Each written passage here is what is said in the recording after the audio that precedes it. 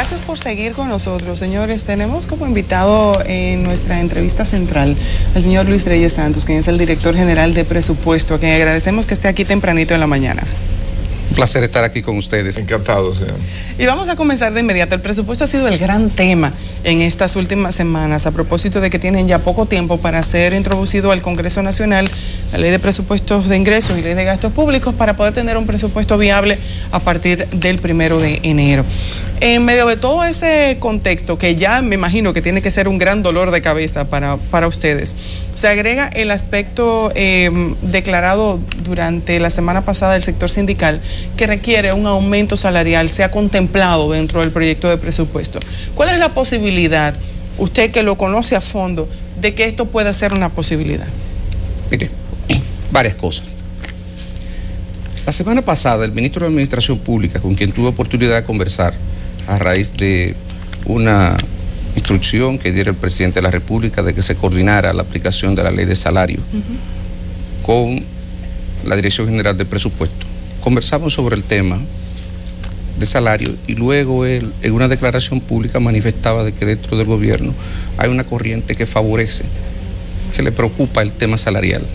Aquí yo hablo ya como economista. Miren, cuando uno revisa el tema del salario mínimo en el país, lo que observa es que en los últimos 20 años, más o menos, del 94 para acá, ha habido una pérdida persistente del poder de compra. La parte que tiene que ver con el sector privado se explica parcialmente o en buena medida porque la ganancia en productividad que han tenido las empresas durante ese lapso no han sido transferidas al sector asalariado. En el sector público, en los últimos años también hemos tenido dificultades. De 2003 para acá se produjo una pérdida importante del poder de compra de los asalariados en el sector público. Posteriormente, luego de la crisis del año 2008-2009, ha habido serias dificultades para que el país continuara, perdón, para que el gobierno continuara el proceso de recuperación que ya se había comenzado a dar en los años 2005, 2006, 2007. De manera que nosotros estamos conscientes de que el tema salario es un tema al que hay que prestarle atención en la sociedad dominicana. De eso no cabe la menor duda. Ahora, desde el punto de vista presupuestario, cuando uno analiza este tema, no es un tema de si lo incluyo o no lo incluyo, porque estamos hablando de cosas muy pesadas desde el punto de vista, con mucho peso específico desde el punto de vista del resultado presupuestario. Cuando uno piensa en la política salarial del gobierno, tiene que pensar en otras políticas, el impacto que puede tener esa decisión en otras políticas gubernamentales. Tiene que ver el impacto que puede tener en el crecimiento, porque ¿cómo voy a financiar ese aumento salarial? Lo voy a hacer con un recorte de la inversión pública, lo voy a financiar y voy, digamos, a aumentar el déficit o en todo caso eso me va a impedir disminuir el déficit y cuáles son las consecuencias que eso puede tener en términos de sostenibilidad de la deuda pública. Entonces, como ustedes ven aquí hay muchas aristas. El tema no es solamente de que nosotros tengamos la buena voluntad de mejorar, mejorar los salarios del sector público, es que hay que ponderar otras cosas y actualmente estamos en ese proceso. De hecho, el intercambio al que hace referencia el ministro de Administración Pública, que reitero, con quien comparto la visión de que debe, hay y debe haber una preocupación sobre el tema salarial, de que los funcionarios estamos preocupados por ello y de que ese tema merita que se le preste especial atención no me cabe la menor duda que él está en lo correcto. Pero eh, está la preocupación y, y, amerita toda la atención. Ahora, ¿están en la disposición, o sea, están buscando la manera de cómo hacerlo para incluirlo en el presupuesto? Se están evaluando, midiendo los impactos en este momento. Lo primero cuando uno tiene una política de esta naturaleza, lo primero que debe proceder es a evaluar el impacto de la decisión y luego entonces analizar esto en el contexto de esas cosas que ya hacía referencia. Yo le pregunto, Luis, inclusive el ministro administrativo, el señor Peralta, estuvo anunciando que el presupuesto para el año 2015 va a tener un incremento de un 5%. Eso se estuvo hablando en una intervención que él tenía. Ahora a mí me preocupa lo siguiente, eh, uno que hace proyectos, hace cosas, usted como como economista hace un presupuesto y el presupuesto uno lo hace sobre la base de los ingresos que va a, este, va a tener de ese proyecto que uno está armando para saber qué tan beneficioso puede ser, cuánto puedo gastar, cuánto puedo invertir en esto, cuánto puedo invertir en lo otro. Me preocupa que el presupuesto de República Dominicana en gran parte está basado en el tema de los préstamos. ¿Hasta cuánto eh, se puede, eh, se, está proyectando para el año 2015 que van a hacer esos préstamos? ¿Qué tanto los préstamos van a, subsidiar el presupuesto de la nación? Mire, refería en la respuesta que daba a la pregunta que me formularon sobre el tema salarial que cuando se van, se están discutiendo estos temas hay que ponderar otras políticas. La política de sostenibilidad de deuda posiblemente es tan importante como cualquier otra. Entonces el tema del endeudamiento público que ya nosotros hemos referido en otras oportunidades, que también es un tema que que, hay que prestarle atención, el tema de la sostenibilidad de la deuda. Yo creo que nosotros hemos sido suficientemente transparentes en estas cosas y no ahora. Desde hace más de un año, nosotros venimos diciendo, hay que prestar atención al tema de sostenibilidad de deuda. De manera que no es nuevo, la pregunta que usted nos, me hace ahora en este momento no es nueva. Y creo que hoy día es más importante que nunca darle seguimiento al tema del endeudamiento, del financiamiento del país. ¿Qué es lo deseable? Bajar el déficit, claro que es lo deseable. Ahora, ¿Cuánto podemos bajar el déficit si nosotros vamos, pensamos aumentar el salario? Y aumentar el déficit es hablar de financiamiento. Recuérdese que ingreso menos gasto igual a financiamiento. Si yo aumento el gasto y no puedo aumentar mis ingresos, ¿qué debo de hacer?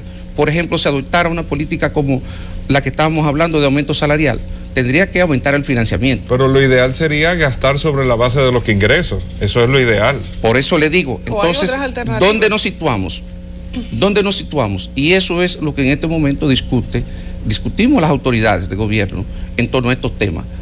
¿Qué es lo más conveniente para el país? ¿Dónde debería situarse? ¿Debemos endeudarnos más? ¿Debemos endeudarnos menos? ¿Debemos de ajustar los salarios? ¿Podemos ajustar los salarios? A este punto, señor Reyes, eh, al punto en, el que se está debatiendo el presupuesto, ¿qué porcentaje del presupuesto está sustentado en financiamiento? Exactamente le voy a decir 2.8% para este año. Esos son 76 mil y tantos millones de pesos.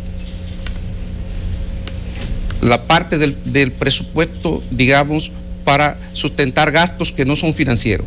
Porque en adición a eso, para la amortización de la deuda hay otro tipo de financiamiento adicional para amortizar deuda que lleva el presupuesto a un total de 146 mil millones para el año 2014. Estamos hablando entonces de un incremento en el, en el financiamiento. Claro, porque siempre que usted genera déficit, usted el déficit tiene que adicionarlo al stop de deuda que usted tenía el año anterior. Si usted partió, digamos, con un nivel de endeudamiento de 40% del Producto Interno Bruto y generó un déficit de 2.8 como el que yo le estoy mencionando, al final del año usted tendrá un endeudamiento por 42.8% del PIB. Me preocupa porque ya estamos en un punto en el que estamos llegando al tope.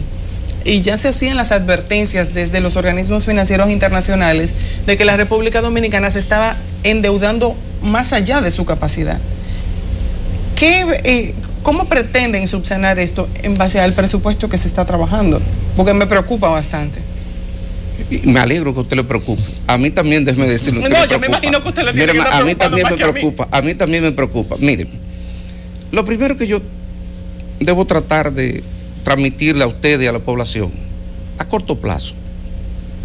Nosotros no tenemos peligro alguno de que tengamos un descarrilamiento por el problema del endeudamiento. Digamos que durante esta administración eso está la proyección. Lo que se ve es que es una situación manejable. En este punto todavía es una situación manejable. Ahora, lo que nosotros decimos es, a mediano plazo, a largo plazo, esto es una situación que posiblemente no sea sostenible y que en algún punto la sociedad dominicana tiene que abocarse a discutir en profundidad el tema del endeudamiento y cómo quebrar la tendencia que lleva el endeudamiento. Porque ahí hay varias cosas encontradas. Si nosotros queremos mantener el 4% del Producto Interno Bruto asignado a la educación preuniversitaria, si nosotros queremos mantener niveles de inversión pública mínimos para satisfacer todos los requerimientos de la sociedad, y al mismo tiempo disminuir la tendencia que lleva la deuda, posiblemente eso no vamos a poder hacerlo con una presión tributaria de 14 y tanto por ciento del Producto Interno Bruto. Es decir, que de cada peso de riqueza que genera la economía, el gobierno se apropia de 14% y tener un servicio de seguridad ciudadana de un país de primer mundo, tener un problema de tránsito resuelto como el que ustedes mencionaban.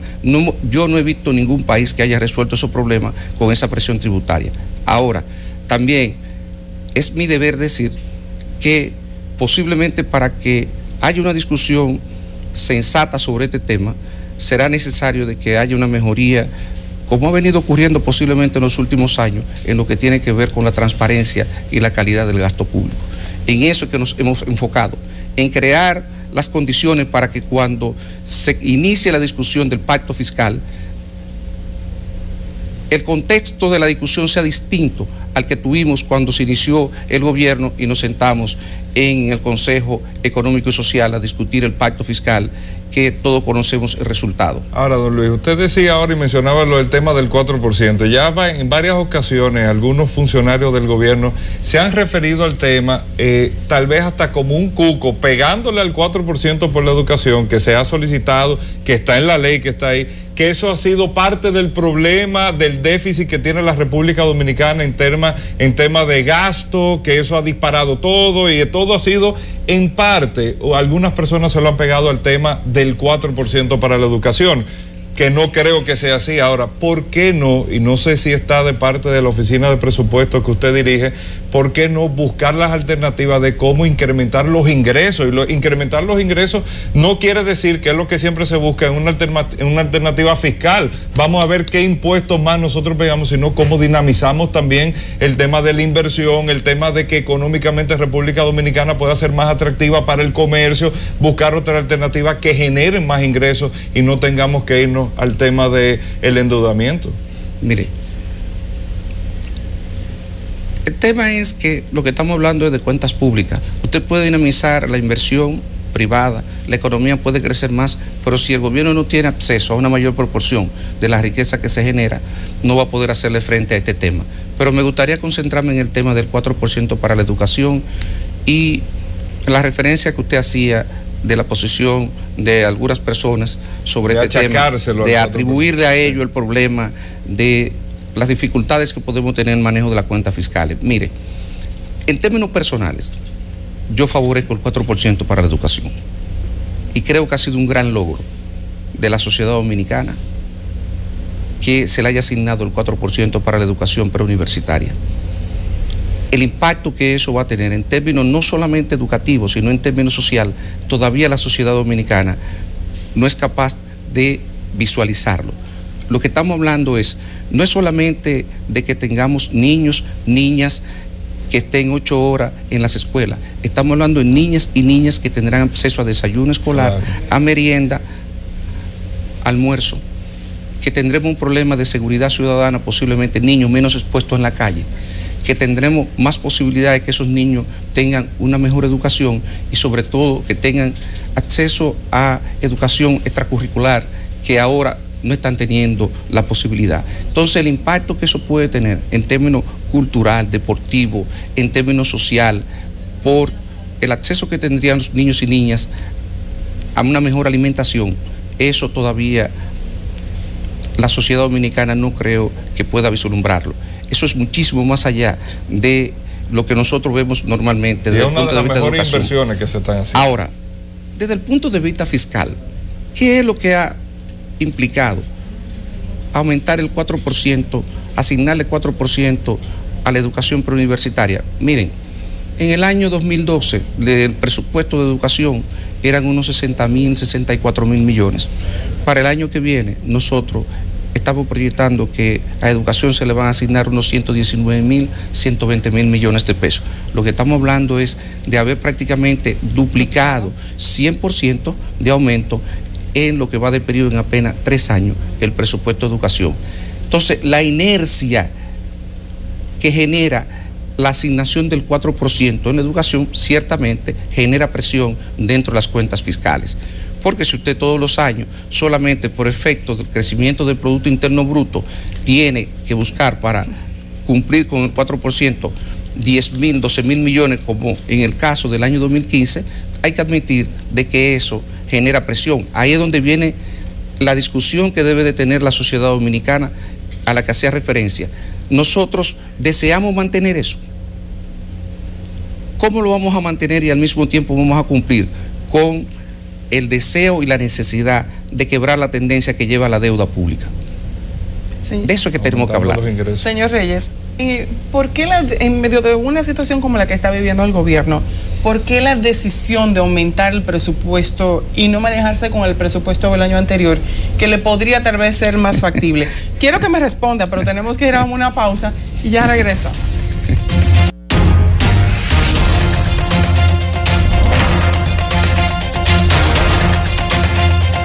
Señores, estamos en conversación con el señor Luis Reyes Santos, director general de presupuesto, delante y detrás de cámaras.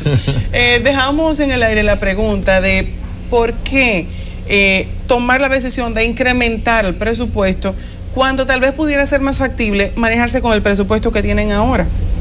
Eh, miren, déjenme decirle algo. Qué, qué buena pregunta para poder aclarar cuál ha sido la política presupuestaria que ha venido ejecutando este gobierno. En sentido general, la mayoría de las instituciones del gobierno siguen operando con el mismo presupuesto del año 2012, del año 2013. Nosotros hemos ajustado muy poco el presupuesto operativo de las instituciones, excepto los recursos que se asignan para el cumplimiento de las políticas priorizadas por el gobierno, como la incorporación de 450 mil ciudadanos al régimen de la seguridad social, que se ha venido haciendo todos los años, con la meta de incorporar 1.800.000 personas al finalizar esta administración de gobierno, el tema del programa Solidaridad, la incorporación de 50.000 familias, esos recursos nosotros los asignamos, el apoyo a la pequeña y la mediana empresa, todos los años esas cosas se han ido incorporando al presupuesto. Fuera de eso, los presupuestos operativos de las instituciones en sentido general han venido a hacer lo mismo. Y este año lo que se discute es una política similar. Hay gasto dentro de la administración de gobierno que aumentan por inercia. Por ejemplo, todos los años hay que aumentar, de asignar recursos para las promociones de militares y policías, los ascensos de policías y militares. Tenemos que asignar recursos para incentivos médicos, para incentivos en educación, que ya caen dentro del 4%, pero que anteriormente estaban dentro de esa misma categoría. Y eso hace que el, que el presupuesto aumente por inercia, aún manteniendo todo el resto constante. En realidad, si uno removiera esas cosas, ve que los aumentos en el presupuesto son muy pequeños. ¿Dónde que han tenido aumento el presupuesto? En gran medida en los últimos dos tres años, incluso el que discutimos para el año 2015, en dos partidas. Intereses de la deuda pública por el aumento de la deuda y el 4% para educación. En ambos casos, lo que se ve es que prácticamente en tres o cuatro años ha habido aumento de 100% en esas partidas. Si usted piensa que en esas dos partidas nosotros hemos tenido que especializar recursos por, por 100 mil millones de pesos, lo que proyectamos para el año 2015 de 2012, perdón, 2015 con respecto al año 2012, tener que asignar 100 mil millones de pesos, entonces eso le da una idea de que básicamente los incrementos que estamos teniendo en términos de ingresos apenas nos da para cubrir las asignaciones que hacemos para esas dos partidas y para cubrir esas políticas de priorización de gasto a la que hacía referencia eh, hace un momento y que obviamente responden a los compromisos que asumió el gobierno con los ciudadanos en el programa que le presentó al electorado. Un, un tema, don Luis, es el, el presupuesto y los números que se plantean, pero otro es la ejecución de ese presupuesto. ¿Qué tanto realmente se, se cumple eh, de ese presupuesto que se presenta? Miren, yo creo que nosotros, y en eso hago una culpa, no hemos sido lo suficientemente diligentes para explicarle a la población y para explicarle a ustedes los avances que hemos tenido lugar, las reformas que impulsamos. De hecho, desde el Ministerio de Hacienda se impulsa la reforma institucional más importante.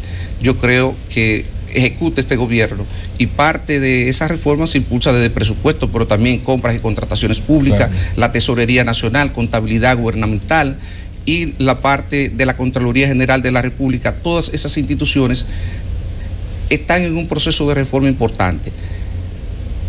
En, los últimos, en el último año, en los últimos dos años, al país se le señalaba mucho tres cosas fundamentalmente. Primero, que no cumplía la meta que se establecía en el presupuesto en términos de déficit público. Segundo, que las instituciones no respetaban los techos de déficit. Y tercero, que aun cuando se asignaban recursos a las instituciones, luego en la ejecución eso no se cumplía. El año pasado, todos los ministerios ejecutaron al menos el 90% del presupuesto que se le estableció.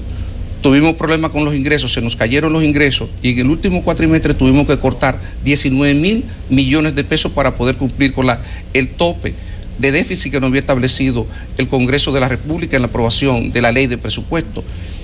Y este año en lo que revisamos cortado al mes de julio es que las instituciones también van a tener un buen nivel de ejecución. Hemos ido avanzando en el aspecto institucional de respetar la ley de gasto público que aprueba el Congreso en los términos que señalé. Debemos terminar la entrevista, pero quisiera que eh, ya por último me dijera algo rápidamente. Eh, la importancia de un pacto fiscal en medio de un eh, bueno, proyecto de presupuesto que se hace anual, pero que eh, debe ir siendo revisado durante todo el año. ¿Qué importancia tiene el pacto fiscal? Mire, el eh, un pacto fiscal en este momento ayudaría primero a darle predictibilidad precisamente a la política presupuestaria del gobierno, porque el pacto, el presupuesto por cierto hasta ahora, nosotros hacemos presupuestos anuales, pero deberían de presentarse presupuestos plurianuales que abarquen varios periodos de tiempo. De hecho, es parte de la reforma que estamos impulsando de presupuesto es para la presentación eventualmente del presupuesto plurianual, mejorar la calidad del gasto, con todas estas cosas que tienen que ver con presupuesto por resultado. El pacto fiscal le daría predictibilidad, le decía, a la política presupuestaria y definiría, removería la incertidumbre que puede haber sobre el tema de sostenibilidad de deuda. ¿Por qué? Porque la sociedad dominicana debería de dotar al gobierno de los recursos para hacerle frente primero a los gastos priorizados y dentro de esos gastos priorizados el tema de deuda pública.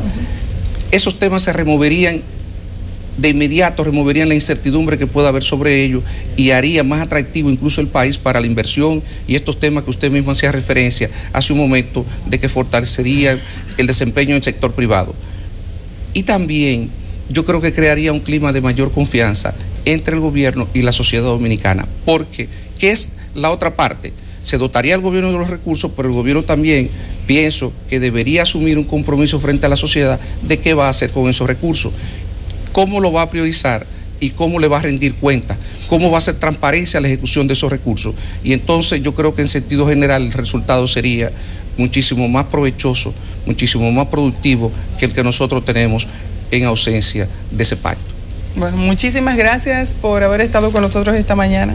Gracias. Gracias a ustedes. Gracias. Gracias a ustedes. Gracias por su tiempo. Vamos ahora a una pausa y enseguida regresamos.